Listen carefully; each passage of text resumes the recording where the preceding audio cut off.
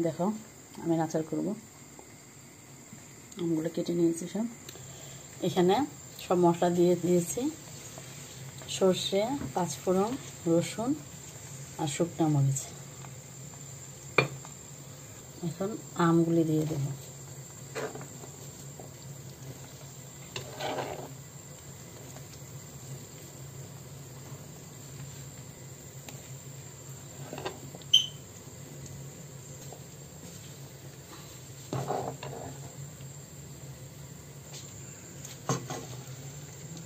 সুন্দরভাবে আদা দিয়ে দিতে হবে এখন।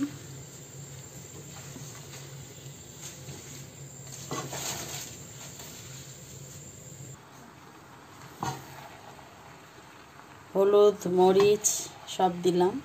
গুঁড়া মরিচ, হলুদ আর ধনিয়া জিরা সবই দিলাম। এখন একটু সর্ষেটা ব্লেন্ড করে নেব। সর্ষেটা দিয়ে দেব।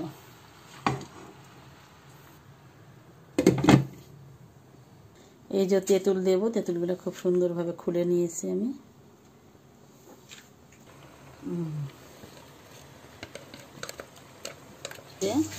সর্ষে দিয়ে দিয়েছি এখানে, কাঁচামরিচ আর সর্ষে আর আদার গুঁড়া দিয়ে দিয়েছি সব।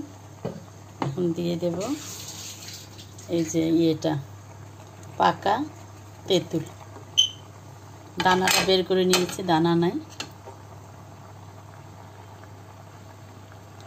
দানাটা বের করা, এখন একটু সব ভালোভাবে মাখাবো।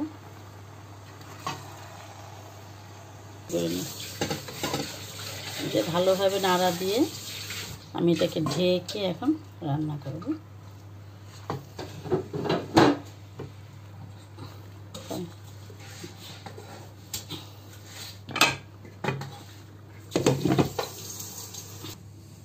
এই দেখো, অনেকক্ষণ পর ফিরে আসলাম।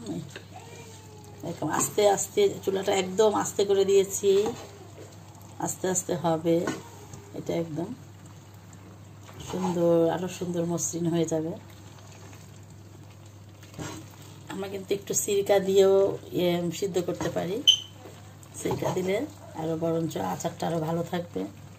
সিরকা আমি দিয়েছি। ইয়ে যখন সর্ষেটা করলাম, তখন আমি সিরকা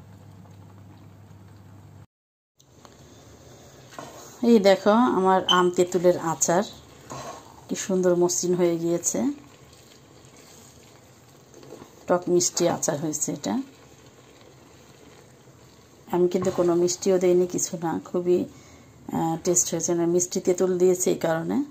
এখন আমি এটাকে হালকা ঠান্ডা হয়ে গেলে আমি বয়মে ভরে নেব।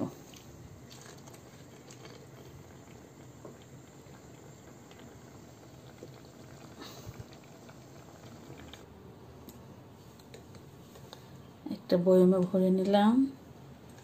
আর আরও একটা বয়মে নিচ্ছি ভরে। কারণ অনেকগুলা আমার এখানে দুইটা বয়ম হয়েছে।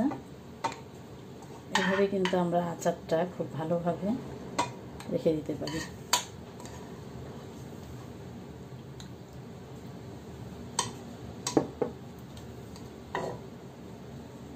তেল দিয়ে রাখতে হবে আমাকে উপরে।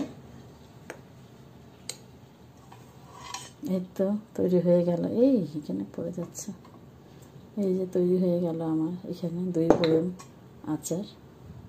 আমের আচার। আম আর তেঁতুলের আচার।